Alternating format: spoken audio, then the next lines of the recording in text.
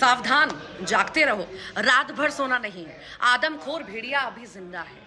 वो कभी भी आ सकता है। यूपी के बहराइच के 35 गाँवों में यही आवाज़ सुनाई देती है। गाँव वाले रात भर लाठी डंडों के साथ उस खूंखार भेड़िए के खौफ के साय में जी रहे हैं। दिन में तो थोड़ा सुकून मिल जाता है, लेकिन रात होते ही भेड़ियों का डर सताने लगता है। करीब दो महीने से भेड़ियों की तलाश की जा रही है, लेकिन अभी तक केवल चार भेड़िए ही पकड़ में आए हैं। जो खूंखार भेड़िए आजकल चर्चा में हैं आखिर वो आदमखोर क्यों हो गए? आखिर क्या वजह है कि भेड़िया इंसानी खून के प्यासे हो गए?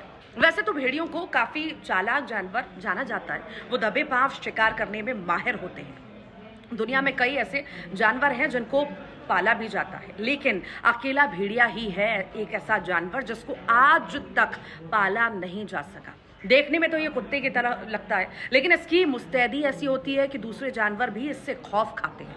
कहा जाता है कि आज तक भेड़िए के गले में पट्टा नहीं पहनाया जा सका। अगर समझा जाए तो भेड़िया कुत्ते के रूप में दिखने वाला जंगली जानवर है।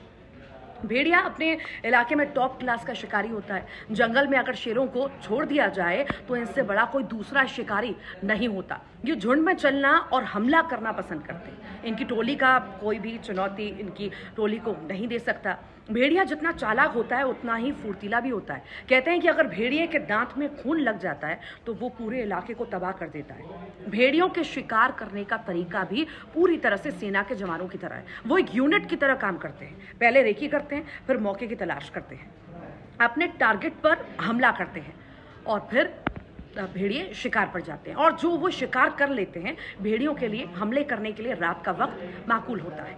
वो हमले के लिए रात होने का इंतज़ार करता है। शिकार करने के लिए, इनके लिए रात 12 से सुबह चार बजे का समय सबसे माकूल होता है। क्योंकि जब लोग गहरी नींद में सोते हैं, तब वो शिकार की तैयारी करता है।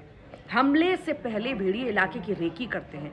भेड़िए झुंड में हमला करना पसंद करते हैं। इसलिए वो पहले काफ़ी देर तक इंतज़ार करते हैं। वो घात लगाकर अपने शिकार की ताक में रहते हैं और मौका मिलते ही टूट पड़ते हैं। भेड़िया हमला करने के बाद तुरंत फरार भी हो जाता है।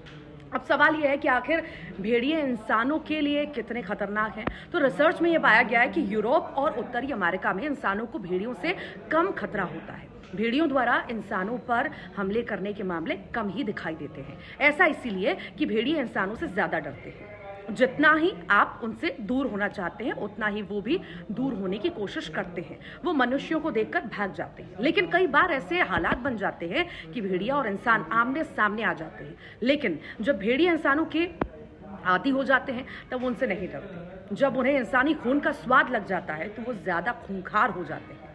भेड़िए शिकार से पहले एक अजीब तरीके से चिल्लाकर अपने साथियों को आगाह भी करते हैं। और भेड़िए की आवाज़ दूसरे जानवरों से बिल्कुल अलग होती है। वो शिकार से पहले अपने साथियों को चिल्लाकर इशारा करते हैं। भेड़िए शिकार के दौरान झुंड को एक साथ रखने के लिए भी चीखते हैं। शिकार को देखने के बाद चीखना एक तरह से भेड़ियों का संकेत है कि इसके अलावा भेड़िए अपने इलाके या टेरिटरी में अपना दबदबा बनाने के लिए भी चीखता है, ताकि उनके इलाके में कोई दूसरा गुट का भेड़िया ना घुस जाए। एक और बात जानकर आपको हैरानी होगी कि सुनने में सभी भेड़ियों की आवाज़ एक ही तरह की लगती है, लेकिन ऐसा नहीं है। हर भेड़िए की अपनी अलग अलग आवाज़ होती है, जिससे वो ये पता लगाते हैं कि उनके झुंड में कितने जानवर हैं। झुंड में भेड़िए एक दूसरे को उनकी चीखों से पहचान सकते हैं।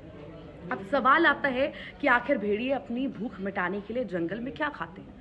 तो भेड़िया एक मांसाहारी जानवर है, जो रोज़ाना तीन से चार पाउंड मांस खाते हैं। कई बार तो वो दिन में दस पाउंड यानी कि चार से पाँच किलो तक का मांस खा लेते हैं। भेड़िया अपनी भूख मिटाने के लिए जंगली सुअर, खरगोश, मछली इन सबको शिकार बनाते हैं, क्योंकि भेड़िया झुंड में शिकार करते हैं, इसीलिए वो बड़े जानवरों का शिकार भी आसानी से कर सकते हैं। लेकिन भेड़िए अक्सर छोटे और कमज़ोर जानवरों का शिकार करना पसंद करते हैं। भेड़िए तेज तर्रार जानवर होते हैं, वो दिन में कई किलोमीटर तक का सफ़र तय करते हैं ऐसे में उनका कोई एक स्थायी इलाका नहीं होता। वो कहीं भी घने जंगलों और सुनसान इलाकों को अपना ठिकाना बनाना पसंद करते हैं। भेड़िया तेज तरार और फुर्तीला जानवर होता है, इसलिए वो जल्दी पकड़ में नहीं आता।